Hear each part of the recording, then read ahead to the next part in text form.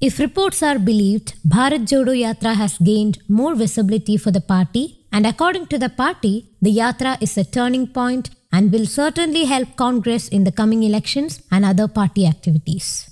Maybe these points has fueled their anticipations and belief, leading them to take another step. Yes, Bharat Jodo Yatra too will happen. Congress is considering the second leg of the Bharat Jodo Yatra spanning the country from east to west, as Bharat Jodo Yatra 1 covered south to north. General Secretary Jairam Ramesh announced this on Sunday.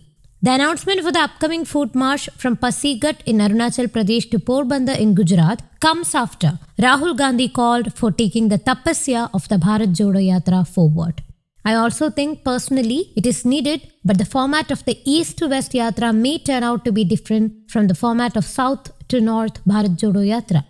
General Secretary Jairam Ramesh told media. Ramesh further said that the planned yatra may not have an elaborate infrastructure that was mobilized for Bharat Jodo Yatra and may have less yatris. It would largely be a Padayatra, but there are jungles and rivers on this route. It would be a multimodal yatra, but mostly it would be a Padayatra. As some state elections are held in April and November, the Congress leadership is thinking that the trip will have to be done before June or before November. The three day plenary session of Congress concluded with a call for expansion of grassroots work and an alliance with like minded parties against BJP.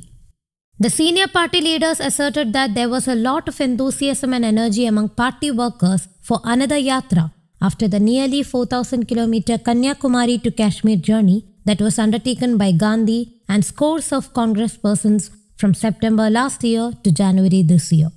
News Desk, Kaumudy Global. Thank you.